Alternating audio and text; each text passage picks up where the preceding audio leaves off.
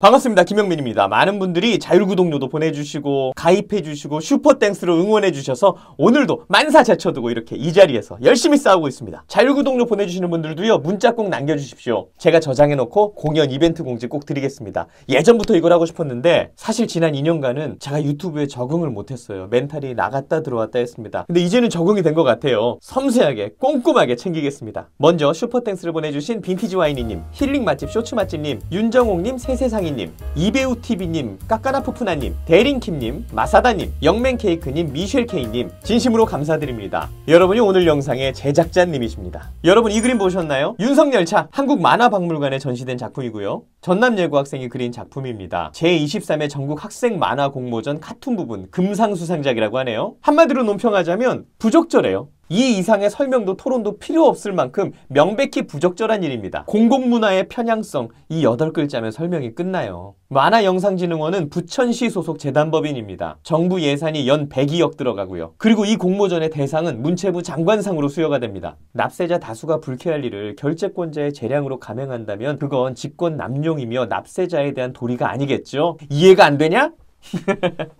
여기에 하나 덧붙이자면 얼굴에 온화한 미소가 배어야 될 나이에 늘 삐뚤어져 있는 우리 좌저씨들 잘 들으세요. 이 나라의 청소년이 실존 인물에 대한 모욕적인 풍자를 한다면 어른이 잘한다 잘한다 상 주면서 부추기는 게 맞습니까? 저는 개인적으로 이 그림을 그린 이 학생이 이 사태로 인해서 상처받지 않았으면 좋겠어요. 그리고 이 사건이 트라우마가 돼서 더 강성해지는 일도 없었으면 좋겠습니다. 이 썸네일 보고 우연히 들어와서 누군가가 심어준 분노가 좀 녹아내렸으면 좋겠어요. 보고 있니? 아저씨 그렇게 나쁜 사람 같진 않지? 아저씨 그림 좋아해. 아저씨가 정치인이 돼서 미술 카르텔을 잡아야 너희 세대가 예술하기 편한 거야. 예고 친구들한테 좀 전해주고 그래. 어쨌든 이 논란에 대한 설명은 이 정도로 끝내고 제가 너무 놀랬던 건 이 사람의 입장입니다. 부천시장 조용히. 지금 조용히 있어도 시원찮을 판에. 개그입니다. 조용히 조용히. 아 이렇게 논란을 만들고 한번 떠보겠다 승부수를 두고 있죠. 한번 봅시다. 만화도시 부천시장 조용익입니다. 지금 당신이 만화도시를 좌빨도시 만든 거예요. 제25회 부천 국제 만화축제에 전시된 전국 학생 만화 공모전 수상작에 대한 기사가 하루 종일 이어지고 있습니다.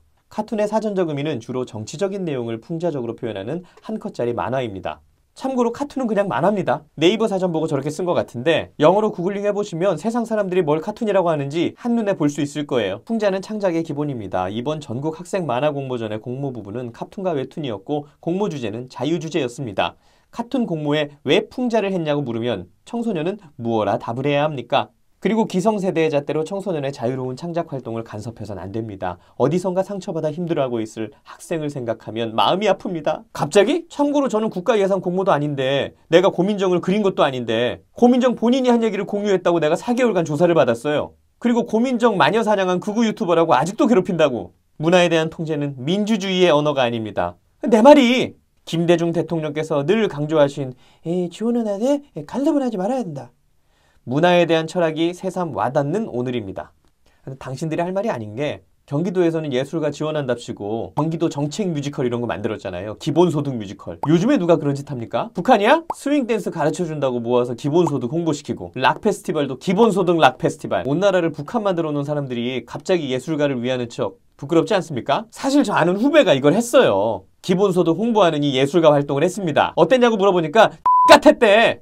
돈 있으면 그냥 작품하고 그냥 노래하고 주민들 앞에서 공연해서 기쁨 주면 되는 거 아니냐. 그럼 예술가도 좋고 주민도 좋은 거 아니냐. 열변을 토합니다. 저는 그런 예술가들의 절규를 듣고 정치를 지망한 거예요. 대한민국에서 극좌짓거리하고 예술가 위하는 척으로 포장하면 저한테 혼나요. 그리고 조용익 시장이 그러면 안 되지. 당신이 어떻게 성장하고 출세했는지 잊어버리셨습니까? 다른 사람은 몰라도 저는 알아요. 내 별명이 민주당의 폴킴이야. 나는 여러분의 모든 날 모든 순간을 다 기억합니다. 과거 덮고 뻔뻔하게 굴지 마. 더불어민주당 가짜뉴스 법률 대책단장 조용익 변 변호사님, 제 컴퓨터에 당신 사진, 기자회견 자료 다 있습니다. 조용익 변호사는 어떤 사람이었습니까? 문재인 합성물, 문재인 비방 이런 거 잡아다가 무더기로 고소 고발하면서 사냥개처럼 충성하던 사람 아니에요? 사람들이 이 정도는 표현의 자유 아니냐 따져도 문재인 합성한 사람, 문재인 비방한 사람 211명 무더기로 잡아서 고소 고발한 사람 아닙니까? 국가 공모에 도전해서 나라 돈으로 세금 받아간 것도 아닌데 일반 시민, 평범한 서민, 청소년까지 문재인 욕한 사람 수백 명 잡아서 고소 고발해서 조진 사람 아니에요? 동명이인입니까? 사진 비교 갑니다. 본인 맞네. 내가 당신에 대해 얼마나 알고 있을까요? 만나서 이야기 나눌 날이 왔으면 좋겠습니다. 그리고 우리는요, 청소년이 정치 과몰입해서 인격 모독적인 콘텐츠를 만들어낸다면 우리가 방향을 잡아줘야 됩니다. 잘한다고 부추기면서 영웅 만들고 그걸로 정치 공세하고 그로 인해 성장기 청소년이 그런 박수 받고 정서적으로 흥분하면 사고가 왜곡될 수 있지 않을까요? 그런 건 걱정 안 해요? 그리고 여러분들이 시대의 흐름을 충분히 읽지 못하는 것 같은데요. 이제는 예전처럼 문학계 통으로 먹고 대놓고 선전선동하던 시절이 아닙니다. 인터넷의 발달은 콘텐츠 기반 소통의 국경을 허물었죠. 해외 플랫폼이 발달했고 거기에도 돈이 들고 거기에도 시장이 있어요. 여러분이 한 줌 카르텔 쥐고 있다고 예술계를 통제할 수가 없다니까? 그따위의 수준 낮은 정치 공세를 계속하면 4시 10분은요. 채널의 수익금으로 화가를 고용해서 윤석열차의 후속작을 그릴 겁니다. 노무현 전 대통령의 포토라인 앞에서 멘탈 나간 표정을 그린 노무현타 김대중 전 대통령이 중국 공산당 옷을 입고 있는 김대중공 문재인 대통령이 종량제 봉투 안에 들어가 있는 문재인간 쓰레기 고민정 의원을 건강하게 그린 고민정숙 어때요? 표현의 자유? 막 부글부글 느낌이 오죠. 한번 그려서 보여줄까? 유학 다녀온 엘리트 화가의 작품으로 한번 보여드릴까요? 적당히들 하십시오. 자꾸 그러면 나한테 혼나. 어쨌든 MC 섭외가 필요하면 연예계 최고의 가성비 김용민의 MC 100 화환 꽃배달이 필요할 땐 1855-0410 4시 플라워